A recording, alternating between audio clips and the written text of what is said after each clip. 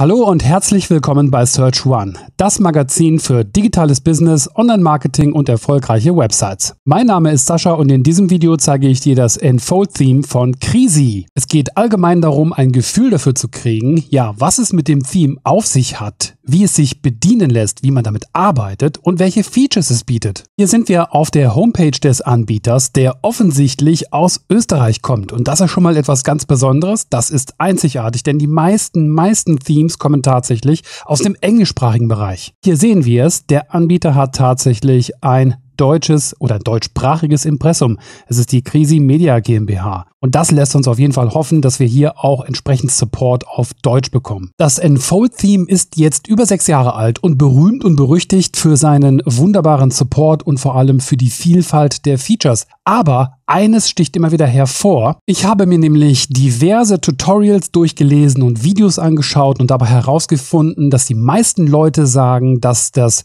Theme vor allem extrem zuverlässig ist. Die Landingpage bei Crazy.at ist tatsächlich relativ kurz gefasst und eine Sache sollte man hier vielleicht auch noch wissen, denn im Blog wurde zuletzt noch verkündet, dass sich der Anbieter jetzt voll und ganz auf das Enfold-Theme konzentriert. Er hatte vorher unterschiedliche Themes im Angebot, aber die sind äh, teilweise in die Jahre geraten und das Unternehmen hatte keine Lust mehr, das weiter zu supporten und deswegen wird jetzt die gesamte Power, die gesamte Kraft auf dieses eine Theme gerichtet, sodass hier der Support so gut wie möglich ist.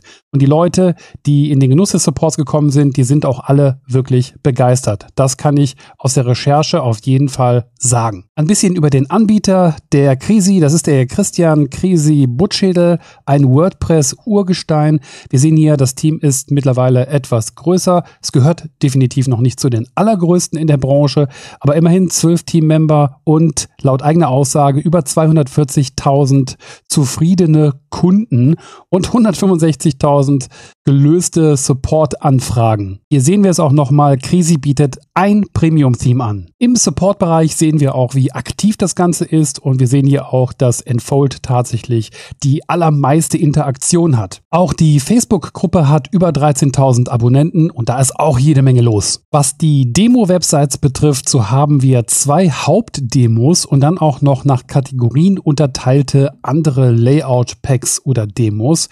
Es sind insgesamt 36 36, also 36 Stück konnte ich hier zählen. Das ist definitiv nicht so viel wie einige andere anbieten. Also wir kennen ja beispielsweise das B-Theme mit seinen über 400 verschiedenen Layout-Packs und viele andere Anbieter haben auch mittlerweile eine dreistellige Zahl an Layouts.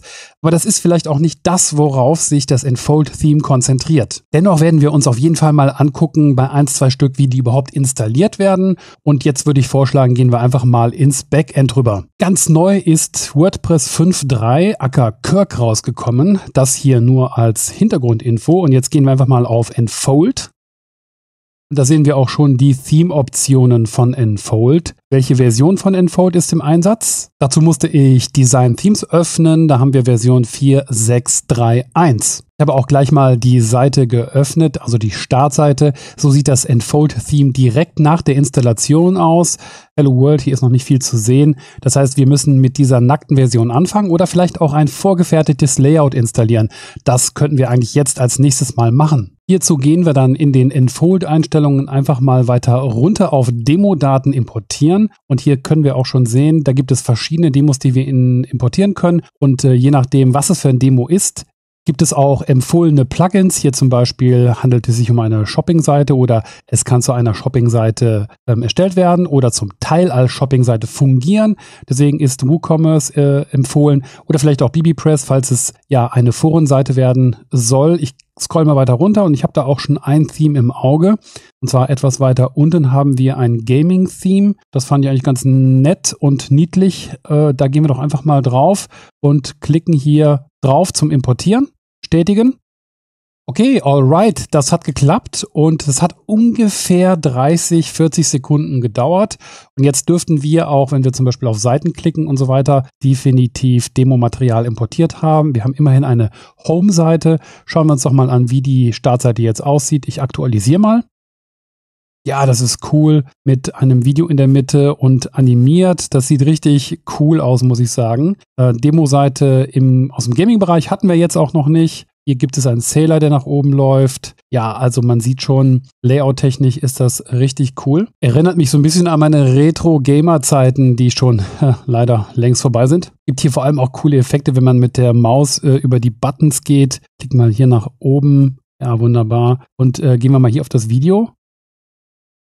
Oh ja, The StarCraft Universe CG Trailer. Okay, das ist also nur zu Demonstrationszwecken, damit wir aussehen oder damit wir sehen, wie das aussieht, wenn hier ein Video eingebunden ist. Ja, das ist äh, wirklich hervorragend. Und jetzt wollen wir mal im Backend uns anschauen, wie wir diese Seite bearbeiten können. Insgesamt muss ich sagen, dass mir auffällt, dass hier die Menüpunkte nicht überfrachtet sind. Also es gibt ja einige Themes, die fügen so viele Punkte hier hinzu. Portfolios, äh, Portfolio gibt es auch hier natürlich, das ist ja mittlerweile eingebaut.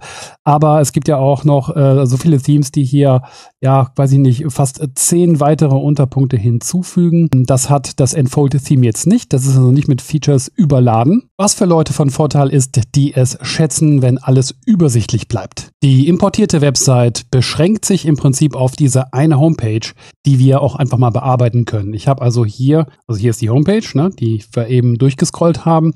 Und wenn wir die Seite bearbeiten, dann sehen wir auch schon den Layout Architekten, so nennt er sich, Avia Layout Architect. Das ist der Editor, den das Enfold-Theme verwendet. Wenn wir hier auf Standard-Editor umschalten, dann sehen wir, dass alles Shortcode-basiert ist. Also gehen wir mal wieder zurück auf den erweiterten Editor. Und dieser Editor, auch wenn er ein reiner Backend-Editor ist, ist wirklich ja sehr flink, sehr einfach zu bedienen. Und er hat auch, also er lässt ein, ein paar Einblicke zu in das, was tatsächlich auf der Seite eingebunden ist. Das ist auch nicht bei jedem Backend-Editor so, aber hier können wir grob sehen, was sich in den entsprechenden Elementen verbirgt. Es ist natürlich kein Frontend What You See is What You Get Editor, was natürlich heutzutage so die präferierte Methode des ähm, Ausfüllens, des Editings ist.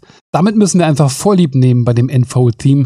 Das ist eben so und da müssen wir leider mit leben. Direkt ganz oben ist etwas mit dem Layer-Slider eingebunden und zwar der Gaming-Slider. Und wenn man hier drauf klickt, dann geht entsprechend diese, äh, diese Seite auf. Man kann das hier bearbeiten. Der Layer-Slider ist eine ganz schön komplexe Software. Also hier kann man eine Menge mitmachen. Man sieht es ja auch mit den ganzen äh, Animationen. Wenn man dann hier auf Slide klickt, dann kann man dann auch ein Preview sich angucken, wie das Ganze aussehen wird. Und so wird das als Element entsprechend eingebunden.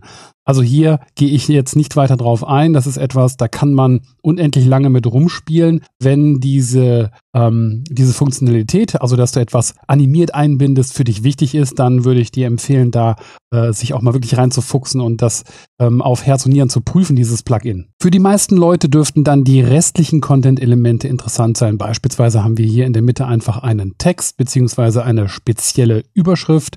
Hier sehen wir den Inhalt und äh, wie das so üblich ist bei diesen Plugins und speziell hier auch beim Enfold-Theme. Da gibt es dann die Möglichkeit, alles über verschiedene Felder entsprechend einzustellen. Also zentriert, ähm, die Größe des Fonts und so weiter. Und wir gehen hier über Reiter und können dann entsprechend das Layout weiter beeinflussen. Okay, ich gehe einfach mal auf Speichern. Wir können hier weiter runtergehen. Die Spalten und Zeilen werden hier im Backend entsprechend über diese Kontrollelemente eingefügt und da kann ich eben entscheiden, ob das Ganze ein Viertel breit ist ähm, oder zum Beispiel ein Halb und zwei Viertel an der Seite. Und das äh, Theme geht dann hin und macht das Ganze, bindet das Ganze responsiv ein, sodass das entsprechend auch auf den meisten Geräten korrekt angezeigt wird. Wenn wir dann entsprechend etwas einbinden wollen, das heißt, wenn wir das Layout festgelegt haben für die Zeilen, Zeile und für die Spalte können wir verschiedene Inhaltselemente einbinden. Und ich finde hier besonders gut gelungen, dass die Inhaltselemente in zwei Kategorien aufgeteilt sind. Einmal die, die tatsächlich mit Inhalt zu tun haben, sprich Schrift und andere Sachen. Und dann die Medienelemente. Also hier sind Bilder und Videos und Audio und so weiter drin. Sogar die Google Maps, ja, man könnte argumentieren, ist ja im Prinzip auch ein Bild.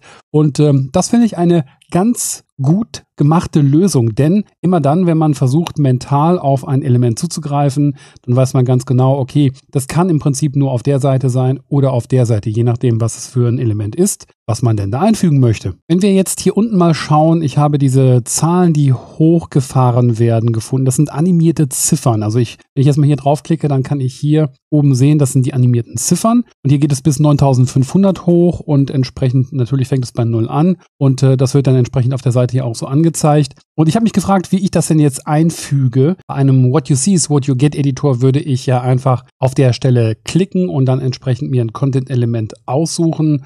Und hier ist es so, dass wenn ich jetzt hier noch eins hinzufügen wollte, dann muss ich ganz nach oben gehen, das Element finden. Hier habe ich die animierten Ziffern und jetzt muss ich das anklicken und entsprechend per Drag and Drop hier runterziehen. Dann warten, bis das an diese Stelle gescrollt ist und dann entsprechend einfügen. Das dauert ein bisschen. So, und jetzt könnte ich es quasi, könnte ich es hier einfügen, mal fallen lassen und jetzt ist es hier unten ähm, eingebunden. Okay, ich muss natürlich dann vielleicht erstmal Platz schaffen, um das einzufügen.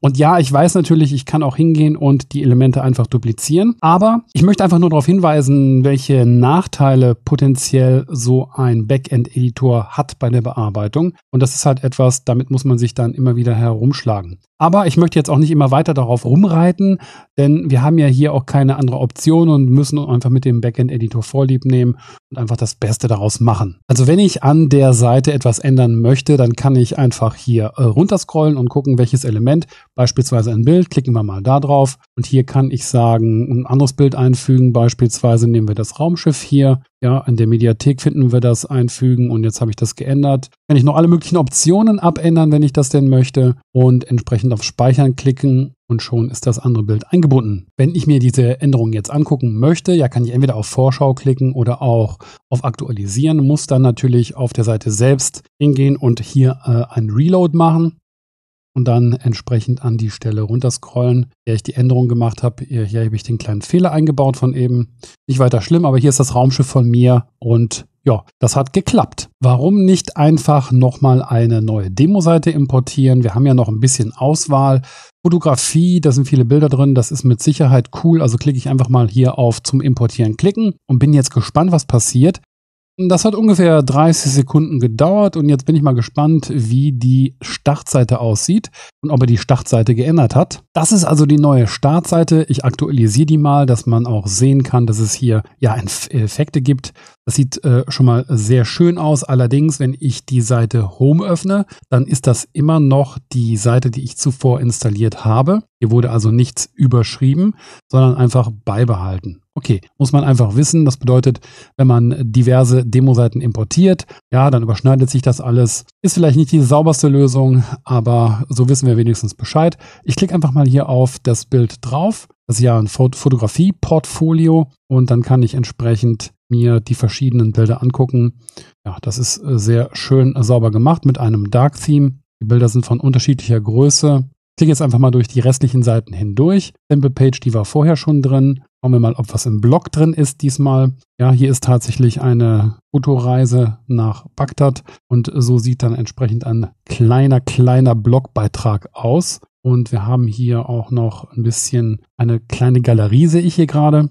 Na, das Beispiel auch ganz nett. Hier ist also eine Galerie, die in einen Blogpost eingebettet ist. Schauen wir uns das mal an, wie das aussieht. Auch gut zu wissen, dass das funktioniert. Wunderbar. Und dann haben wir noch die About-Seite. Die About-Seite bezieht sich also auch auf die Fotografie-Demo und die Kontaktseite hat ein Kontaktformular und entsprechend eine Einbindung über Google Maps, die aktuell natürlich noch nicht richtig funktioniert. Die muss ja erstmal entsprechend eingestellt werden. So, wieder zurück in das Dashboard. Auch wenn wir Beiträge erstellen, haben wir übrigens Zugriff auf den Layout-Editor. Und äh, das ist auch gut zu wissen. Äh, ich möchte hier einfach mal anhand dieses Beispiels zeigen, wie das ungefähr funktioniert. Also wenn wir eine neue Seite oder einen neuen Beitrag erstellen, dann bietet es sich an, vielleicht erstmal eine Farbsektion, so nennt sich das hier, ist aber im Prinzip nichts anderes als eine Sektion, in die man alles andere einfügen kann. Hier einfach drauf zu klicken und äh, hier in diese Sektion kann ich jetzt entscheiden, ob ich eine einzelne äh, ähm, Spalte oder auch eine Viertelspalte und so weiter oder vier Spalten einfügen möchte. Wenn ich jetzt hier drauf klicke, dann wird das direkt darunter angezeigt. Also ich kann entweder per Drag and Drop das hier hinziehen oder auch das Element, wenn sich das hier befindet, einfach anfassen und dann entsprechend hier oben fallen lassen. So habe ich also auch in meinem Blogpost die maximale Kontrolle. Ja, am Blogpost, das würde ja anfangen mit einem, äh, sagen wir mal, mit einer speziellen Überschrift. Die füge ich jetzt hier ein und ziehe sie einfach mal da rein. Ich muss hier oben an der Leiste Leiste an, anfassen oder wir, wir füllen sie einfach mal auf, aus. Wir haben hier eine nette Überschrift, also speichern und äh, die müssen wir dann auch noch einmal anfassen und hier reinfallen lassen. Und darunter möchte ich vielleicht dann weiteren Text einfügen. Jetzt mache ich mal Drag and Drop, lasse das hier unten fallen und hier kann ich jetzt entsprechend einen Par Paragraphen einfügen. Ich habe jetzt der Einfachheit halber einfach mal den Text dupliziert und hier entsprechend eingefügt. So, und jetzt schauen wir uns das Ganze, na, machen wir vielleicht auch noch ein Bild rein. Das wäre vielleicht auch noch eine nette Sache. Hier ein Medienelement hinzufügen und dann ein Bild und ich lasse das Bild einfach mal unter den Text fallen und wähle einfach mal ein Bild aus der Mediathek aus. Hier, ein, hier draufklicken und dann Mediathek und entsprechend, was nehmen wir denn da für ein schönes Bild? Wie wäre es? Ah, das ist doch wunderbar. Okay, äh, machen wir das auch nochmal so groß es geht. Einfügen, speichern. Jetzt haben wir das Bild hier unten drunter. So, ich speichere das Ganze mal und klicke auf Vorschau und dann schauen wir uns mal an, wie das Ganze auf der Seite aussieht. Ja, das ist ja schon mal ganz nett. Wenn du noch weitere Demos installieren möchtest, dann empfiehlt es sich, und so war es bei mir, dass man nochmal von vorne anfängt. Und das macht man am einfachsten mit diesem WordPress Reset. Und zwar ist es das, was dieses Theme hier empfiehlt, von diesem Aristides ähm, Statopoulos. und ähm, ja, also nach der Installation äh, hat man unter Plugins dann unter installierte Plugins entsprechend den Reset, den muss man dann aktivieren. Nach dem Aktivieren kann man unter Enfold auf Reset Site klicken. Da muss man hier Reset eintragen, zurücksetzen und bestätigen. Und jetzt hat man wieder ein frisch installiertes WordPress. Da ist noch nicht mal Enfold aktiv, aber das Theme ist noch installiert. Das heißt, ich kann auf Design klicken und bei Enfold auf Aktivieren.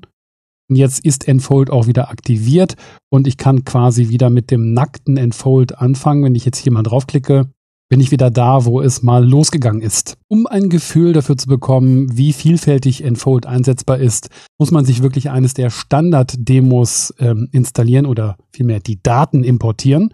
Also gehen wir nochmal auf Enfold und scrollen ganz runter und hier haben wir dann bei Demo-Daten importieren die Möglichkeit, entweder die Standard-Demo zu importieren oder das Enfold 2017. Dafür ist auch WooCommerce und so weiter äh, empfohlen. Das ist einfach deswegen, weil hier wirklich alles an Funktionalität reingeladen wird, was man sich vorstellen kann, was das Theme kann. Deswegen klicke ich mal hier drauf und bestätige. Das hat äh, funktioniert nach ungefähr 30 bis 40 Sekunden. Wenn ich jetzt auf Enfold hier oben klicke, dann geht es auf die Startseite und hier sehen wir, dass alles wirklich voll ist mit Funktionen. Äh, ich hatte kein Glück bisher damit, das Ganze so angezeigt zu bekommen, dass es irgendwie äh, funktioniert. Also ich habe das Gefühl, die Demo-Version, äh, das Demo-Layout, der Demo-Import, der hat nicht wirklich gut geklappt oder da ist irgendwas im Argen. Vielleicht hat es mit der neuen WordPress-Version zu tun. Das kann gut sein. Deswegen möchte ich mal dem Hersteller jetzt hier keine Vorwürfe machen oder so. Deswegen. Ich kann jedenfalls hier jetzt die verschiedenen Homepage-Versionen öffnen. Ich mache mal welche davon auf. Jetzt nicht alle, sagen wir mal drei Stück und lass die mal laden im Hintergrund. Und jetzt sehen wir, dass hier verschiedene ähm, Boxen und so weiter reingeladen werden, die ich mir angucken kann, je nachdem, wie ich das eventuell brauche. Das sieht auch wiederum anders aus, wie man schön sehen kann. Das sieht auch wiederum anders aus, wie man schön sehen kann. Und hier werden eben alle möglichen Funktionen, die es so gibt, das Blog, Portfolio, zum Beispiel der Masonry-Block. Das heißt, die äh, Kacheln werden halt ineinander geschachtelt angezeigt, je nachdem, wie groß eine Kachel ist.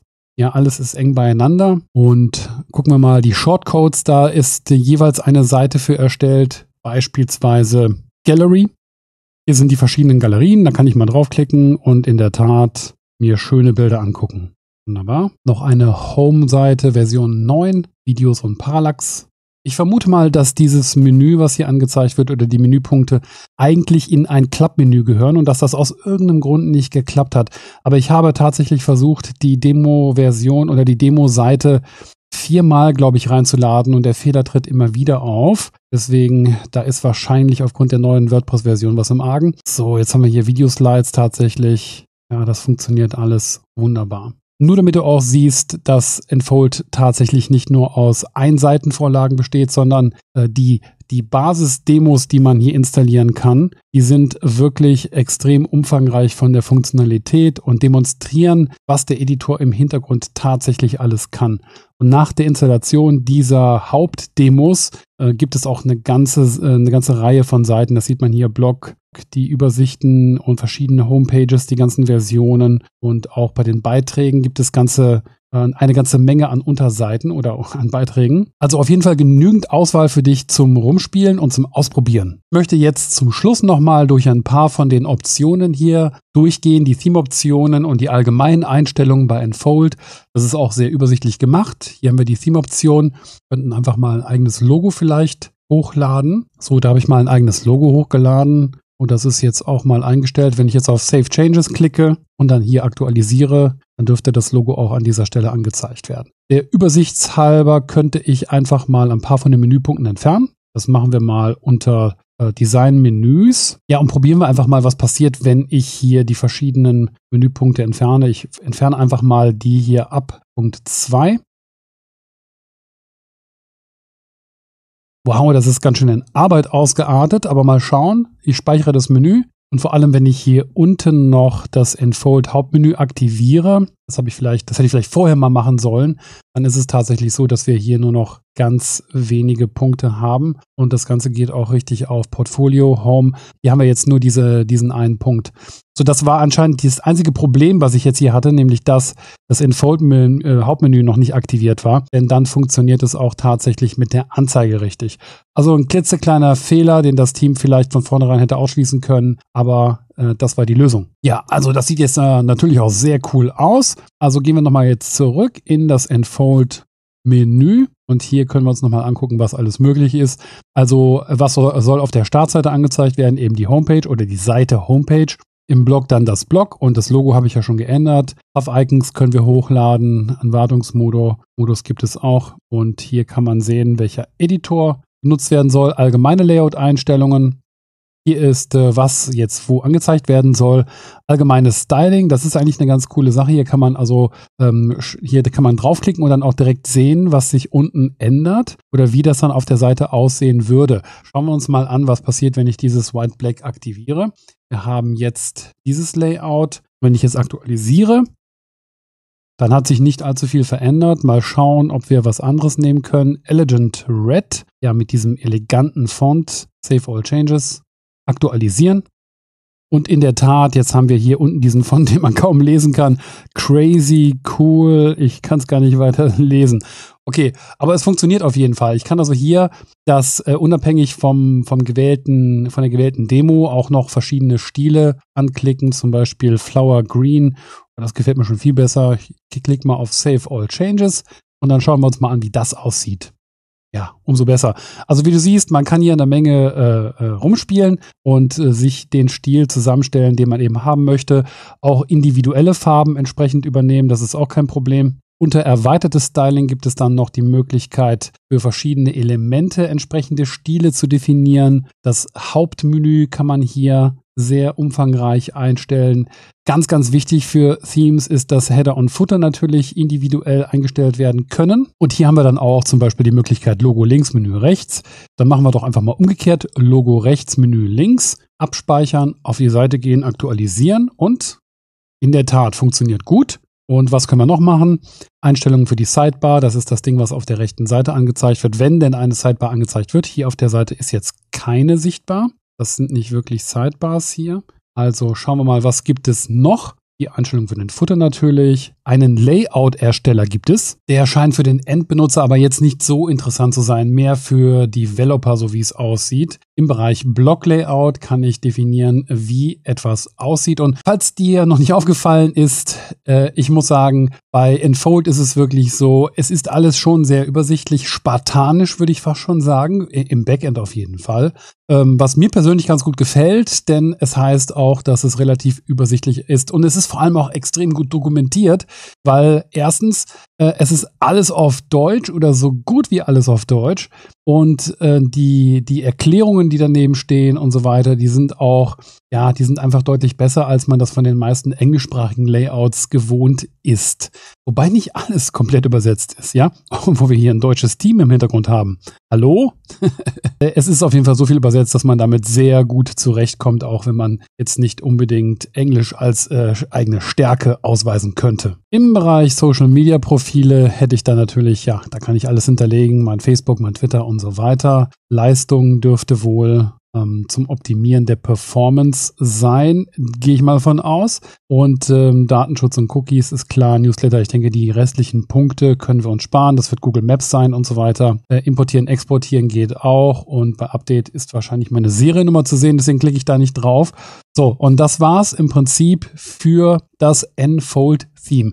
Ich denke, der riesige, riesige Vorteil ist, dass, und das habe ich auch verifiziert, man eben hier beim Enfold Theme Support kriegen kann, der auf Deutsch ist. Und das ist etwas, das ist echter Seltenheitswert. Die meisten Theme-Hersteller sind eben englischsprachige Unternehmen und da gibt es in der Regel vielleicht Übersetzungen, so ähnlich wie hier in der Oberfläche und vielleicht auch manchmal in der Dokumentation, wobei das eher weniger. Dann gibt es ja auch ganz oft äh, Videotutorials und so weiter, die sind auch alle auf Englisch. Hier hat man aber wenigstens den Vorteil, dass man tatsächlich mit jemandem auf Deutsch reden kann. Das ist wenn für dich Englisch ein Schreckgespenst ist, dann ist Enfold fast schon so die einzige Option, die du wirklich hast. Leider, leider, leider gibt es nur einen Backend-Editor. Wir gehen mal hier auf die Beispielseite.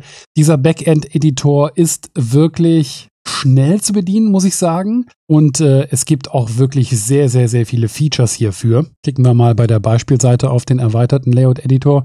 Wird wahrscheinlich nicht funktionieren. Ja, es ist nur der Text hier drin. Okay, das ist auch zu erwarten gewesen. Ähm, ansonsten muss man sagen, der kann auch alles, was letztendlich ein Frontend-Editor kann. Ähm, man muss halt immer nur hier eine Änderung vollziehen und dann auf die Seite wechseln, dort aktualisieren und gucken, was, was draus geworden ist. Da muss man sich einfach dran gewöhnen, aber wenn man einmal dran gewöhnt ist, kann man auch so sehr schnell arbeiten. Enfold ist definitiv sehr zu empfehlen. Man kann mit dem Theme kaum etwas falsch machen. Ansonsten hätte es wohl kaum über 200.000 Kunden und Weltklasse-Support, über den also jeder wirklich völlig begeistert ist. Ich habe das auch nochmal verifiziert. Also es ist auch heute noch so, dass jeden Tag fünf Sterne Kommentare reinkommen ähm, über die Begeisterung bezüglich des Supports. Also hier scheint der Hersteller wirklich 1A zu sein. Okay, das war's von mir. Zum Schluss noch ein paar Hinweise darüber, wie du das Theme am besten erwirbst. Ich hoffe, diese Demo hat dir ein gutes Gefühl dafür gegeben, wie das Theme funktioniert und wie es sich im Alltag anfühlt, damit zu arbeiten. Jetzt möchtest du bestimmt wissen, wie du das Theme am besten erwirbst. Passend zu diesem Video gibt es einen Beitrag im Search One Magazin. Den Link zum Beitrag findest du unten in der Beschreibung. Den Beitrag zu lesen lohnt sich übrigens, weil wir da auf Punkte eingehen, die hier im Video zu kurz gekommen sind und umgekehrt. Ganz unten im Beitrag findest du dann den Link zum Theme. Manchmal gibt es Rabattaktionen, die du dir nicht entgehen lassen solltest. Die können sich von Zeit zu Zeit ändern. Guck also auf jeden Fall unten im Beitrag, was für einen Deal es aktuell gibt. Das war's von mir. Vielen Dank. Dein Sascha. Over and out.